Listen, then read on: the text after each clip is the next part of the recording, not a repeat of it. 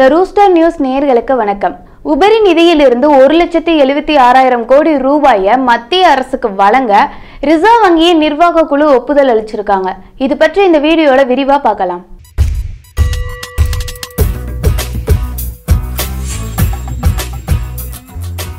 சந்தைகளில் உயர்வு ஏற்படும் போது ரிசர்வ் வங்கிகள் அதிக அளவு உபரி நிதியை மத்திய அரசுக்கு கொடுக்க முடியும்.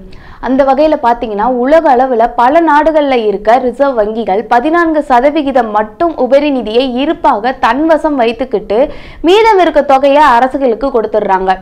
ஆனால் இந்தியாவில் இருக்க ரிசர்வ் வங்கிகளை பொறுத்த வரைக்கும் இருபத்தி எட்டு சதவிகிதம் உபரி நிதியை தன்வசம் வைத்துக்கொண்டு மீதம் இருக்க தொகை அனைத்தையுமே மத்திய அரசுக்கு கொடுத்துடுறாங்க.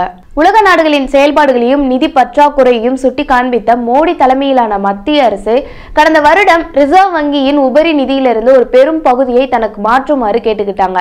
ஆனா இந்த விஷயத்துக்கு அந்த வங்கியோட முன்னாள் கவர்னரான உர்ஜித் படேல் கொஞ்சம் கூட உடன்படல. அவருக்கு இதுல கொஞ்சம் கூட விருப்பமும் இல்லை. இருந்தாலும் மத்திய அரசோட தரப்புல இருந்து தொடர்ந்து வந்த அழுத்தத்தின் காரணமா உடல்நிலையை காரணம் காட்டி தன்னோட பதவியை ராஜினாமா செஞ்சுட்டாரு. இந்த விஷயம் ரொம்ப பெரிய சர்ச்சையை ஏற்படுத்துச்சு. ரிசர்வ் வங்கி கவர்னர்களுக்கும் மத்திய மாநில அரசுக்கும் இடையே தொடர்ந்து வரும் இந்த பிரச்சனையை தீர்ப்பதற்காக முன்னாள் ஆர்பிஐ கவர்னர் பிமல் ஜலான் தலைமையில கடந்த ஆண்டு டிசம்பர் மாதம் ஒரு குழு ஒன்று அமைக்கப்பட்டுச்சு. இந்த குழுவில் முன்னாள் ஆர்பிஐ துணை கவர்னர் ராகேஷ் மோகன் மற்றும் நிதித்துறை செயலாளராக இருந்த ராஜீவ் குமார் போன்ற ஆறு பேர்கள் இந்த குழுவில் இடம்பெற்றிருந்தாங்க. பல்வேறு சாராம்சங்களை ஆராய்ந்த இந்த குழு ரிசர்வ் வங்கியிடம் தங்களோட அறிக்கையை தாக்கல் செஞ்சிருந்தாங்க. அந்த அறிக்கையில ஆர்பிஐ தன்னிடம் இருக்கும் உபரி நிதியை சிறு தவணைகளாக மத்திய அரசுக்கு கொடுக்கலாம்னோ அது மூன்று முதல் ஐந்து ஆண்டுகளுக்கு கொடுக்கலாம்னு பரிந்துரை செய்யப்பட்டிருந்தது. இதற்கு இடையில தான் ஆர்பிஐயோட ஆகஸ்ட் மாத நிர்வாக குழு கூட்டம் மும்பையில நடைபெற்றது. இந்த கூட்டத்துல பிமல் ஜலானோட அறிக்கை பற்றியும் ஆலோசிக்கப்பட்டது. இந்த கூட்டத்தோட முடிவுல தான் மத்திய அரசுக்கு ஒரு லட்சத்தி எழுபத்தி ஆறாயிரம் கோடி உபரி நிதியை வழங்குறதுக்காக ஒப்புதல் அளிக்கப்பட்டிருக்கு. பணமதிப்பு நீக்க நடவடிக்கை எடுக்கப்பட்ட போது ரெண்டாயிரத்தி பதினாறு மற்றும் ரெண்டாயிரத்தி பதினேழாவது ஆண்டுல முப்பதாயிரத்தி அறுநூற்றி ஐம்பத்தொம்போது உபரி நிதியை மட்டும்தான் மத்திய அரசுக்கு வழங்கியிருக்கு. இதுக்கு அடுத்த வருஷம் பாத்தீங்கன்னா ஒரு ஐம்பதாயிரம் கோடி மட்டும்தான் உபரி நிதியா வழங்கப்பட்டிருக்கு. இதுக்கப்புறமும் நிதி பற்றாக்குறையை சமாளிக்கிறதுக்காக மத்திய அரசு ரிசர்வ் வங்கி கிட்ட இருந்து நிதி கேட்டிருக்காங்க. இதுக்கு தான் உர்ஜித் படேல் மறுத்திருக்காரு.